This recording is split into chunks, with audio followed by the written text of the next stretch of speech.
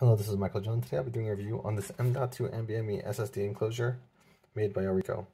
Now, uh, this is an NVMe enclosure and not a SATA SSD enclosure, M.2. So uh, just keep that in mind. If you have a SATA SSD that's M.2, it will not work in this enclosure. Um, as you can see here, it says it's 10 gigabytes a second and that's um, up to 10 gigabytes a second.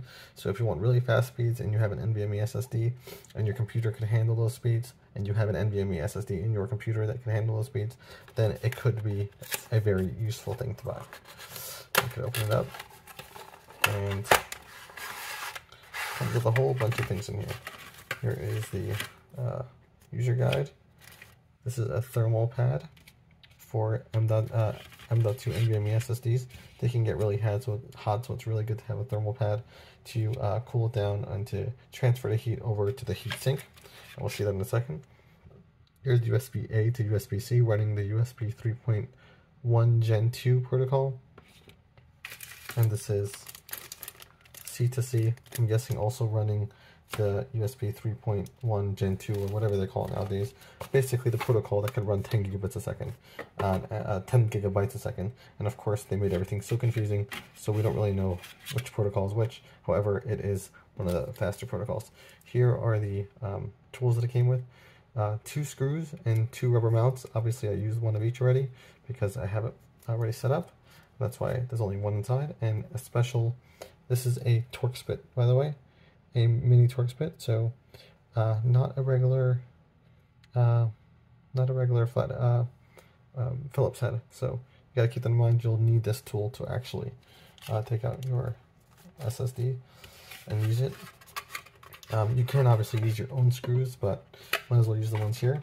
And here's the actual enclosure. Outside, this is plastic.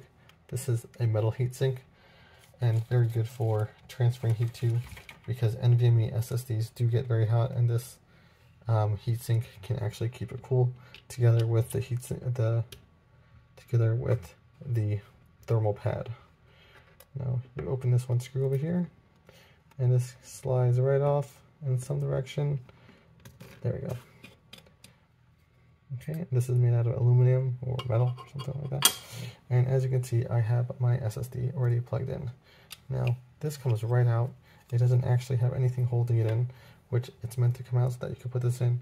Uh, originally when I bought this, it said that there was going to be some kind of turning thing here, so that way I'll be able to easily install the 2280. As you can see right here um, in the picture, it was supposed to have it at the end. However, it does not, as you can see right here. That little tab, I'm going to point to it with the enclosure. That little tab right there, it was supposed to be here, but it's not. However, these rubber tabs work just fine.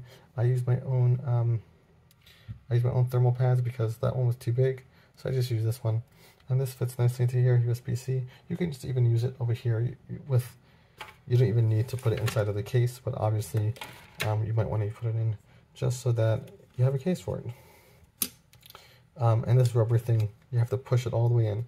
It's not so easy to push it in, but I got it in eventually. You just got to push it in and then run the SSD in between it. So yeah, it's not the easiest thing in the world, but eventually I got it. Make sure the SSD is perfectly inside. Once it is perfectly inside, then you can take the cover and slide it back on. Make sure that it's all the way in. Once it is all the way in, you can put this back on. And yeah, it's not the same as showed in the video, but this is the one that I got and it works Honestly, I would have really liked the uh, closing tab, but it didn't have one. Okay, we got it all closed up. And I can test the speeds right now and show it to you.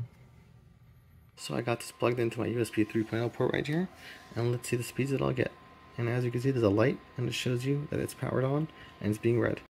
I'm going to copy on the 6 gigabyte folder, so that way I will see what the speeds are. And it's transferring at 341 megabytes a second, which is super fast. So we know this is working well. And in just a few seconds, it'll be finished. As you can see here, it's blinking because it's transferring. Well, it just finished transferring, so it stopped blinking. As you can see, uh, the transfer was complete and it was transferring really quickly. So that's how we know it was working well. Thanks for watching. I hope this helped you uh, make a decision. I really do like this Orico uh, SSD enclosure, and uh, I hope that you enjoy this video.